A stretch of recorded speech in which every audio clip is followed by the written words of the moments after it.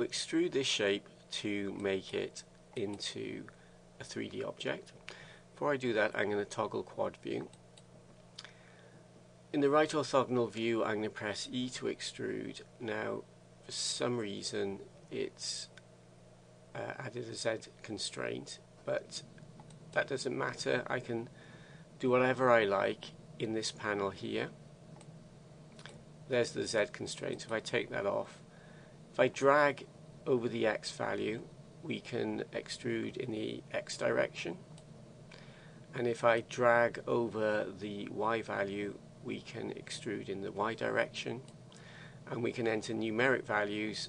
I don't want to extrude in the X direction, so I'm entering 0, 0, and I'm going to enter a value of 0.4 for the Z. We now have a 3D model, but it's very low polygon. To add polygons and to shape the spoon at the same time, I'm going to use the sub sur subdivision surface modifier. I'm going to set the number of views to 2 and I'm going to apply it. You can't apply in edit mode, so I'm going to go into object mode, click apply, and then back into edit mode and if I zoom in using the mouse wheel you can see we've got many more faces and the spoon is now ready for shaping.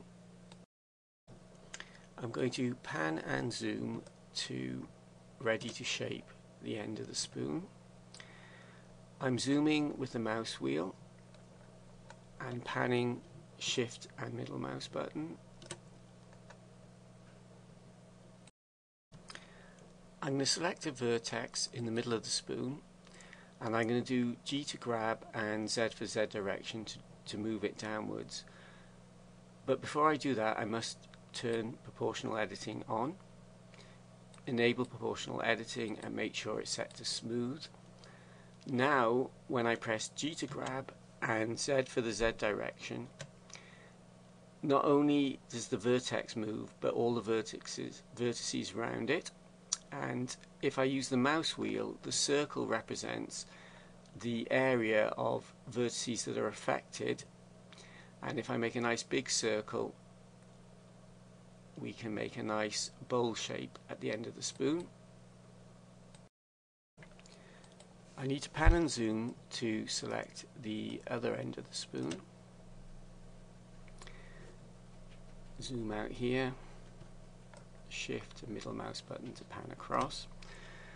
Again select a, a vertex in the middle and press G for grab and Z for Z direction and I can move the end of the spoon down. I need to make the circle much bigger to get a nice shaped end of spoon.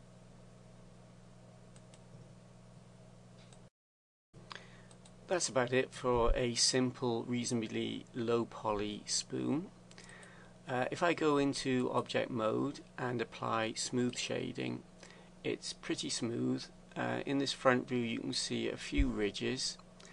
That can be fixed by again going to modifiers and add the subdivision surface modifier again and just with the uh, view to 1 that's pretty smooth bowl there. That's the end of this tutorial. I'll put the finished file and some of the intermediate files at my website freemovies.co.uk. Uh, thanks for watching and goodbye.